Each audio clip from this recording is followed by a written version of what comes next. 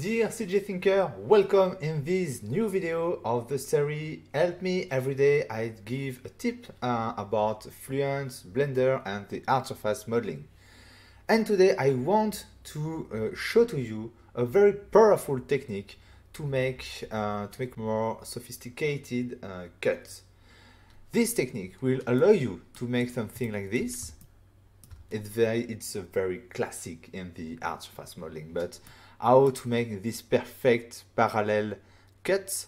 Uh, and with this technique, we will uh, be able to make something like this, more complicated, but very, very interesting. You will see it's uh, like Inception, a cut and cut and cut. That will be very, very nice. So I start with the more simple. I will remove everything and start on the empty scene. Press F, create. I will create a rectangle, right click on the ground to display the grid. I will uh, increase the resolution or not. Uh, press uh, shift, I hold the shift key to draw from the center. I will make a very basic shape just for the example. I will use the second bevel and press C to uh, make a straight bevel and it's okay. I have my base. The first thing is to make a simple cut, a rectangle in this case. One more time, shift to draw from the center, click, left click, right click to kit. And now the technique. The core of the technique is to cut the cutter. Cut the cutter. So I start to display my boolean object. I select my boolean object. I press F and click on cut. So I will cut the boolean object. I want to use the shape tool, so I press on S. Uh, because I will start my drawing outside of um, the object, I need to define what is my drawing plane. So I hold shift and left click on this face and now I can start my drawing. Left click here and left click here. Just that. And because I want to validate a path, I will use spacebar. And I have these results. I will hold the left click and just adjust the thickness. For this example, I will add uh, a mirror like this.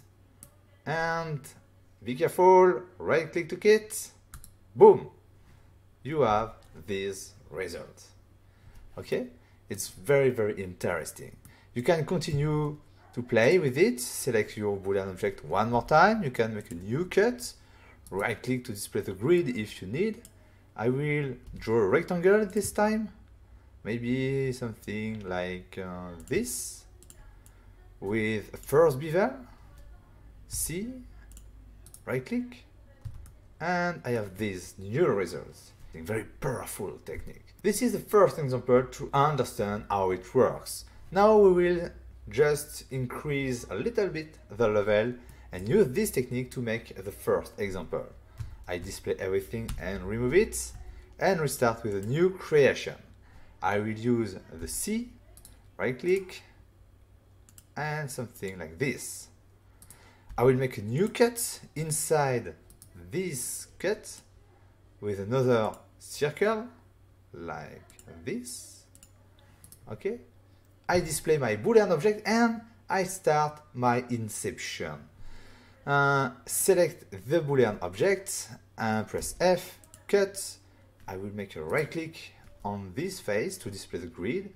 Um, I will use the rectangle, click here, make a rectangle like this okay and cross all the objects. And use the circular array. So you have this result press uh, V and B to change the orientation like this.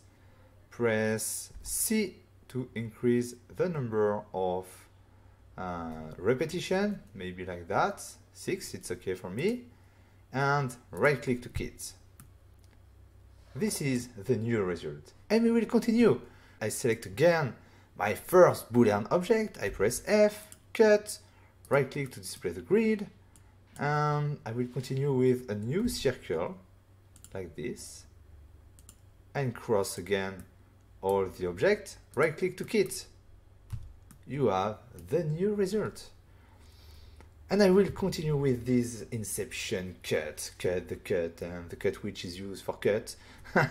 I will, this time I select this boolean object. This boolean object is already used to cut this object. So, okay, I select this one and I will cut this object. Press F, cut, right click, and make a new circle inside like this and right click to kit. You have this new result. Okay, so cut the cutter is a very powerful technique. Um, and another thing with this technique, a very interesting thing, is because all cut uh, was made on only one cut, only one boolean object. If you move the first boolean object, you move all, you move all the pattern. Okay, it's a very very interesting. So that was a new technique, a very powerful. When you will start to use it, I think you won't be able to do without it. See you tomorrow for another tip or other technique. We will see. Bye. CG Thoughts, share our knowledge, grow together.